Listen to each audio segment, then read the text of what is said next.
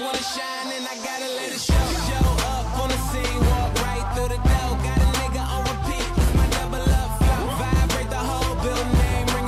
Eh bien salut à tous les amis, c'est Virtuo, j'espère vraiment que vous avez la pêche. Écoutez, aujourd'hui on se retrouve sur GTA 5 pour vous faire part d'une toute nouvelle vidéo. Alors dans cette vidéo nous allons parler des prochaines voitures qui vont arriver dans un futur DLC qui arrivera sûrement au mois de mai. Alors tout ce que je vais dire dans cette vidéo n'est en aucun cas officiel, c'est juste des hypothèses et des suppositions. Donc j'espère quand même que ça va vous plaire. Donc du coup on va commencer tout de suite. Comme vous le savez, nous avons de super sportives sur GTA Online. La T20, la Osiris, la Zentorno, la Turismo R. Mais si on analyse bien, toutes ces voitures sont sorties à la même époque. En premier, nous avons eu la Turismo R qui est sortie le 4 mars avec la mise à jour Business. Nous avons eu ensuite la Zentorno qui est sortie le 13 mai 2014 avec la mise à jour Vie de rêve. Ensuite, nous avons eu l'année dernière la mise à jour Le Crimpay partie 1 qui est sortie en juin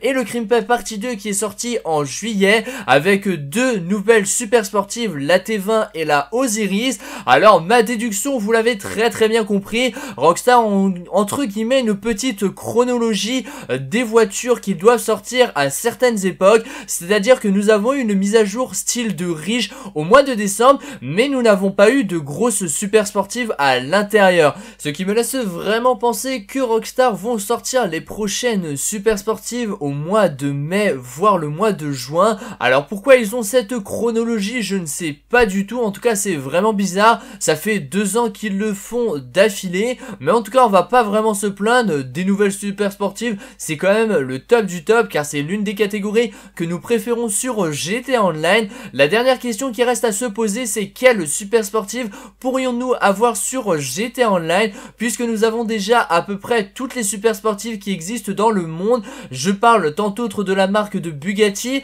la marque de la McLaren, des Ferrari, nous avons la Entity, nous avons aussi la Pagani, nous avons la Lamborghini. Et si on regarde bien le design de toutes ces voitures se ressemble énormément. Alors s'ils nous rajoutent une nouvelle Lamborghini sur GTA Online elle va beaucoup ressembler à la Zentorno. Et la communauté je pense qu'elle va pas trop trop aimer. Donc voilà je sais vraiment pas quelle super sportive Rockstar pourront nous rajouter dans les mois à venir. Je sais qu'ils ont aussi l'habitude de faire de gros mélanges entre deux super sportives pour donner une nouvelle voiture pour éviter les copyrights patati patata. Enfin vous voyez un peu le panel. En tout cas moi je verrais bien la Gumper Apollo arriver sur GTA Online. C'est une très très belle voiture qui est vraiment très très puissante. J'ai pas d'autre chose à rajouter sur cette vidéo. Je vais vous laisser me donner euh, les super sportives que vous voudriez euh, voir venir sur GTA Online en essayant de s'éloigner plus possible des marques de voitures que nous avons déjà